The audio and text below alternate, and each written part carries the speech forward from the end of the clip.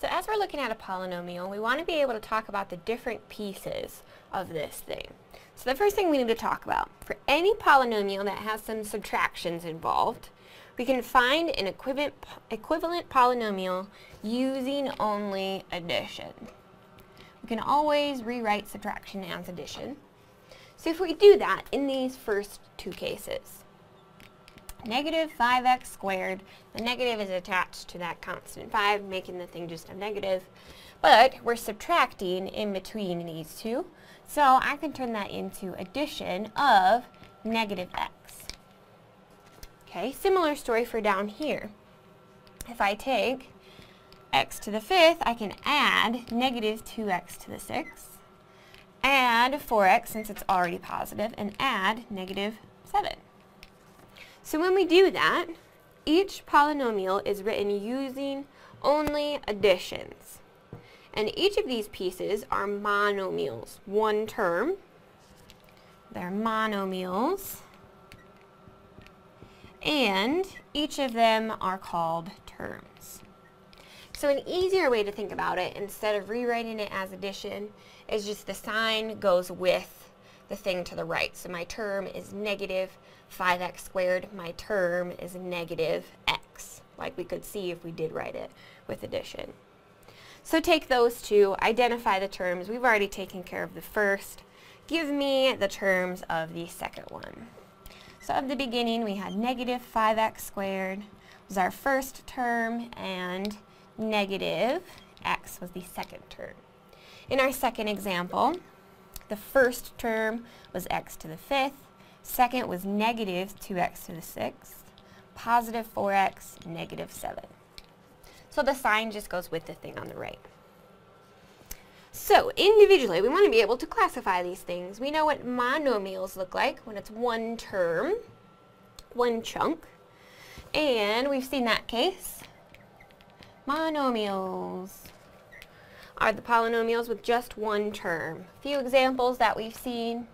4x squared, mm, 2, x cubed, uh, negative 7x to the 64th. Doesn't matter, but they're all monomials. Polynomials with just two terms, what do you think they're going to be called? Binomials. A few examples. I'll just combine these two. 4x squared plus 2, that's a binomial. x cubed minus 7x to the 64th. That is a binomial, two terms in each piece. Polynomials with just three terms, what do you think? Trinomials. Again, I'll just build from our last case, so combine three of them together. Trinomial, it's got three monomials inside of it. Those with more than three, they don't have specific names. Hmm, we just call them polynomials polynomials with number of terms. Okay, so if we have a polynomial with six terms, it's not a making up some name, it's just a polynomial with six terms. So take these four examples, classify each of them using these specific names. So the first one, I have two terms, so what are we looking at? Binomial first, or excuse me, second one, it only has one. So we're looking at monomials. Third one, I've got one, two, three, four. We don't have a specific name for anything larger than three, so it's just going to be a polynomial of four terms. That's how we classify those. And the last one, one, two, three, so it is a trinomial. So those are very important to know, those first three, and then anything larger than that is just a polynomial with its number of terms. So the other pieces of a polynomial that we want to break down are going to be the coefficient and degrees. We have two versions of the degree, but we'll get there. So first, coefficient. The, the coefficient of the term 5x squared is 5. So the coefficient just means the constant out on the front, whatever number is attached to that specific monomial term. So in this following polynomial, we want to identify the coefficients. So what are the different numbers on the front of each term? On this term, my coefficient is 3. On the second one, my coefficient is negative 2. On the third, my coefficient is 5, and on the last, my coefficient is negative 4. It's just a constant itself. The next piece, the degree. The degree of a term is the power or the exponent of the variable. So if we're looking at negative 5x cubed, or to the third, the degree is 3. So in this same polynomial that we were looking at before, we want to tell about the degree of every single term involved. So the power on x in this case to the fifth. Power on x in our second term to the third. Power of x in the third term is 1, so it's to the first power. And I don't have a variable here, but I could write one. And what do I have to raise it to to make it go away? to the zeroth power, because anything raised to the zero is 1. It'll go away. So even though it's funny to say the zeroth power, it's true, that's what's going on here. And because we can write that constant 1 as x to the zeroth, the degree of any constant term is going to be 0. Except for 0, because that case is undefined. Okay. So, in the next polynomial, we want to talk about the term, the coefficient, the degree of each individual term, and then the degree of the polynomial. So what is the degree of the polynomial?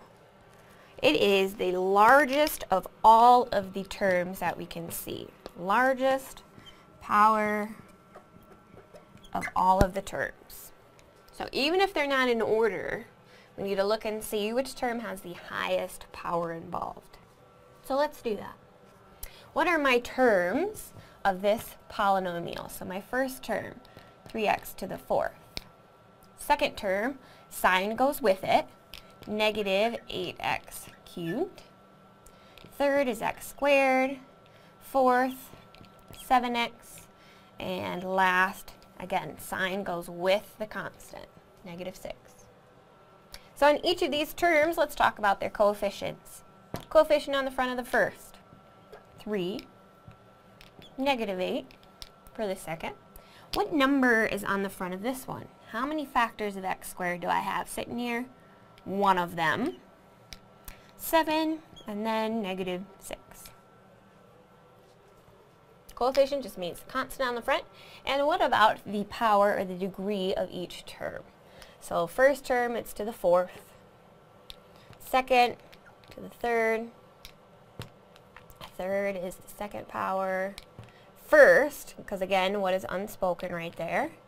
And any constant again is raised to the zeroth power. So generally we see things in descending order, with the highest power getting smaller as we go along. That was how this one was written. So overall, what is the degree of our polynomial? What was our largest power that we saw of all of the terms? fourth was the highest. So overall, it is a fourth degree polynomial. And we couldn't classify it with a specific name, but it has one, two, three, four, five. So it's a fourth degree polynomial. Polynomial of five terms. No special name for anything larger than three. Right. So go ahead and take this example with this polynomial. It's not necessarily in descending order. You can see they're kind of mixed. Identify the degree of each term, and then tell me the degree of the polynomial overall. So the first term has fourth degree. Second has second degree. The third term, it is to the fifth power, to the first power, and any constant is always to the zeroth power. So in this case, our highest power did not come first. So we need to compare between all of them. The degree of this polynomial is to the fifth. So this is a polynomial of degree 5. And again, to classify it, one, two, three, four, five terms. So a fifth degree polynomial of five terms is what we're looking at. So now what if we start combining these polynomials? How do they behave?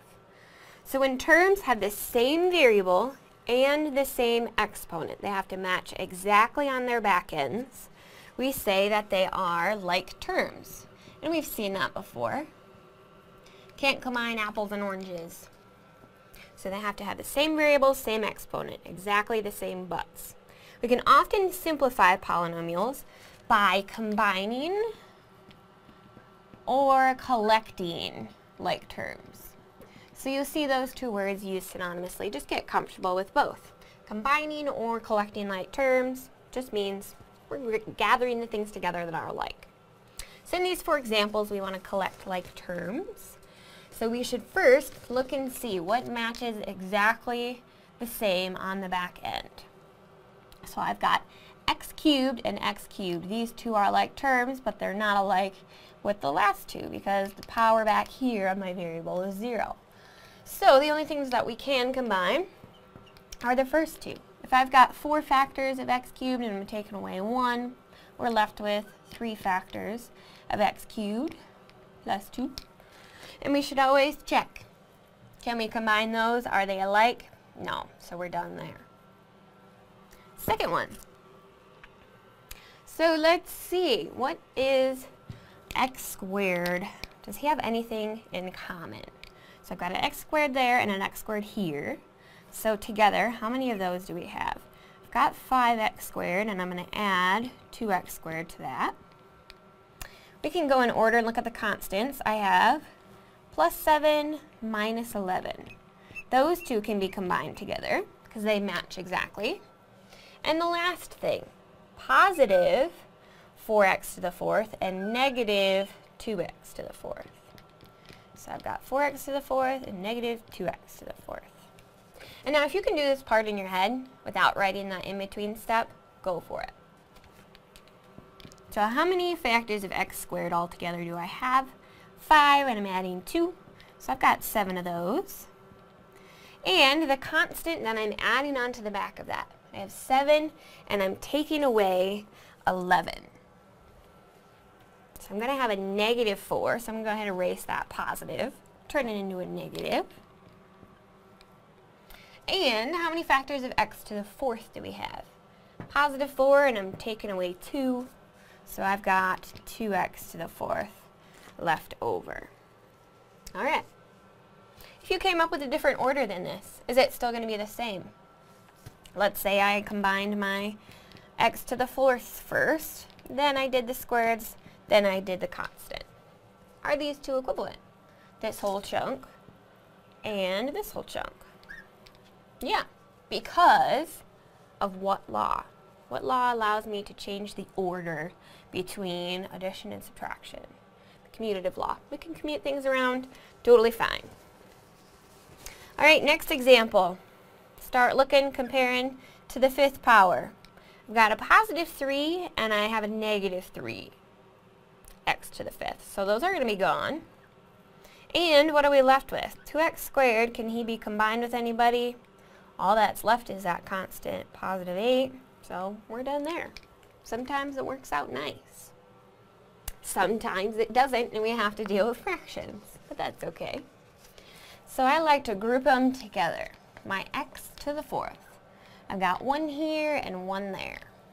So I know that 2 thirds x to the fourth and negative 1 sixth can be combined together. Then what do we have left? x to the third, x to the third, x to the third. All three of those can be combined. So I can add to that negative x to the third plus 2 fifths x cubed minus 3 tenths x cubed. So within each of those parentheses, we can combine these like terms and these like terms, but we can't combine these two chunks together because they're not alike. So we need to work on the insides of both of these, simplify them down. So in order to combine these two, what do we need? Common denominators to be able to add any fractions together. So the least common between 3 and 6 is 6. So what are we missing over here? I need to multiply by a factor of 2 over 2. So this is equivalent to saying 4 sixths, and I'm taking away one of them. Now that we have those common denominators, we can combine them, get one term. So we worked on it on the left. Let's work on it on this right chunk. Combining these three. Least common denominator between 1, 5, and 10. 10 is going to be it since they're all multiples. And what do we need? What am I missing on negative x cubed? So 1 down below, so I need to multiply it by 10 over 10. And we can double check if I do the division, do I get back to my original? Yes. And down here, how do I take 5 and turn it into 10? Multiply by 2 over 2. So what is its equivalent? 4 tenths x cubed. And the last term already has it in terms of tenths. So we don't have to change that one. So what are we looking at? How many factors of x to the fourth? Had 4 and I was taking away 1. So I've got 3 sixths, x to the fourth. And what am I adding on to that? How many factors are we going to have from here? How many tenths? x cubed. How many are we looking at? So negative 10, adding 4 will give me negative 6. Negative 6 minus 3 will give me minus 9. Okay. So we don't like these parentheses now on there. Since we've simplified on the inside, we can write it concisely and not have to write the parentheses because what's on the outside here? 1. So this is equivalent to 3 6 x to the fourth minus 9 tenths x to the third. Last check should be, can we simplify anything? Yeah, that first term.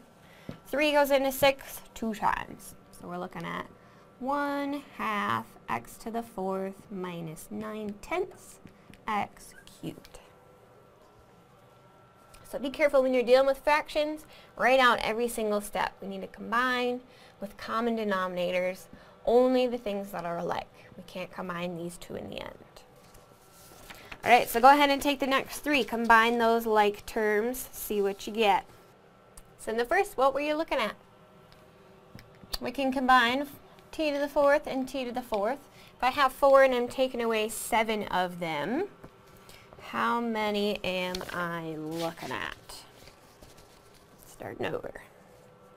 Wrong page. So for the first one, what happened?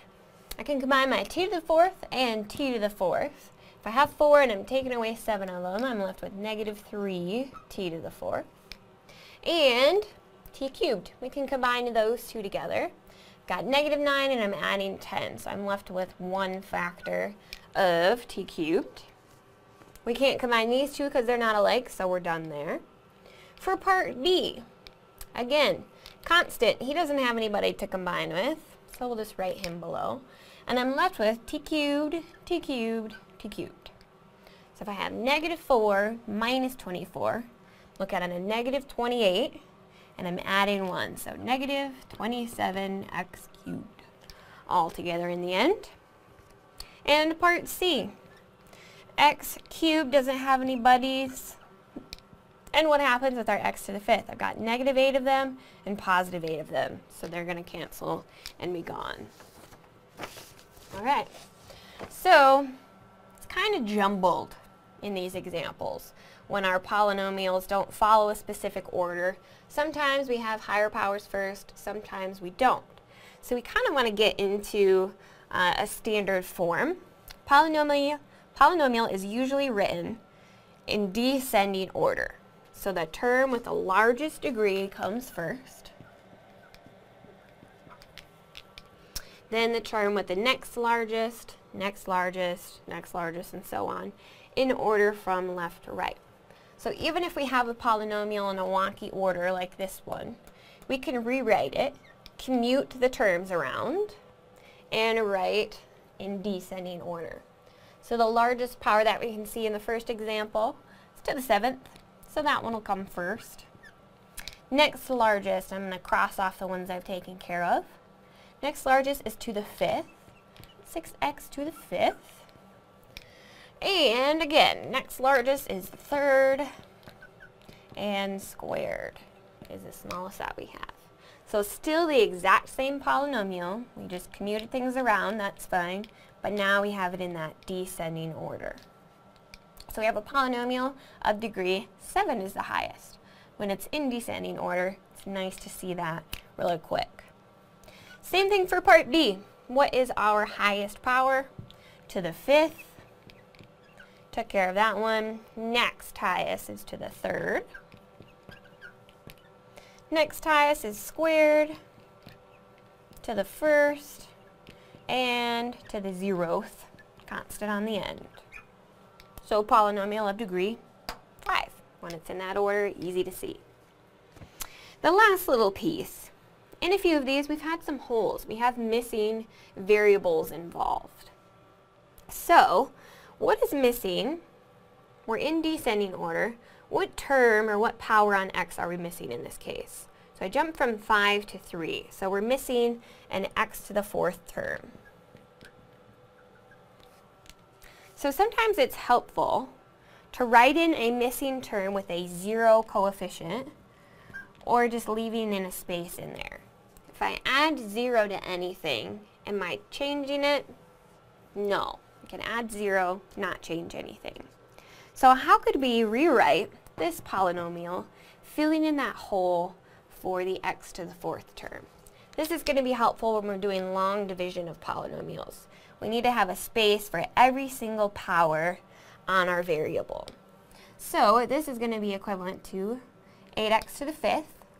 Plugging that hole now, I can add 0x to the fourth. Because 0 times anything, 0. It's gone, it's not there. But we need that little placeholder. Then the rest, we haven't missed any powers, don't have any holes to fill. So those two are still equivalent.